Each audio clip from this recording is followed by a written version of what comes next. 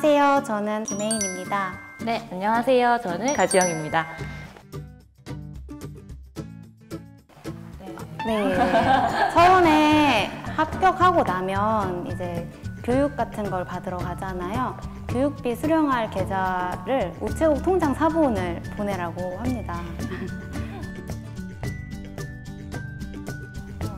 우대이율 같은 게 있으면 정말 좋겠지만 직원이라고 해서 우대이율이 주어지진 않고요. 대신 저희는 이제 예금이나 보험 모집했을 때 모집수당이라고 해서 저희가 노력한 거에 대한 보상은 받을 수 있는데 그게 또 혜택이 꽤 되지 않나요?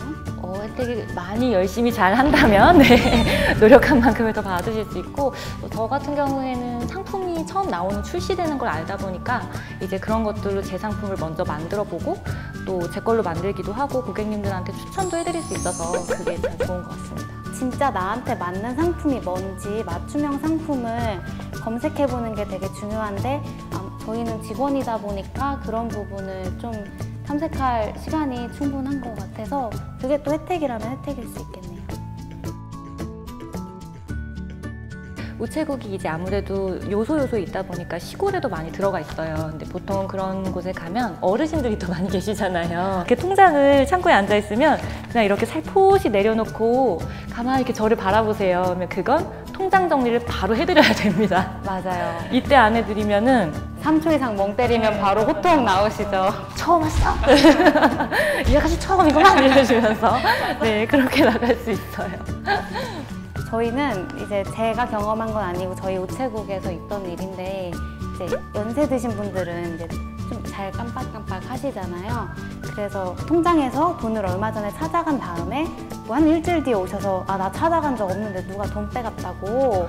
근데 이게 나쁜 의도가 아니라 진짜 기억이 안 나시는 거예요. 놀라서 오시는. 네, 그러면은 저희가 이제 미리 그분이 직접 쓰셨던 지급지를 준비해 놨다가 여기 이때 오지 않았냐 이렇게 말씀을 드리는데 이게 계속 반복되다 보니까 저희 직원분이 나름의 기지를 발휘하셔가지고 그분이 오셨을 때 셀카를 찍었어요. 오늘은 우체국 오신 거 꼭 기억하기예요 하면서 셀카를 찍었는데 기억 깜빡깜빡 하시는 게 말끔히 나왔습니다. 네, 저희가 완전 치유해드렸어요. 이거는 실제로 제가 급여를 수령하는 상품이에요. 우체국 다드림 통장이라고 해서 직장인들 같은 경우는 급여 이체를 약정해놨을 때 우대이율을 최대 0.8%까지 가져갈 수 있어요. 그리고 이 상품의 진짜 좋은 점은 우대이율이 아니에요. 예금 실적이나 보험 실적에 따라서 포인트가 쌓인다는 점인데요.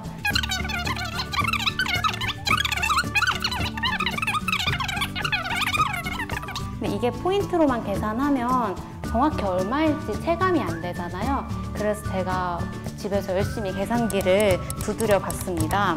월 2,000포인트를 기준으로 할게요. 체크카드 안 쓰고 자동이체만 걸어 놨을 때예요. 월 2,000포인트면 1년에 24,000원이죠.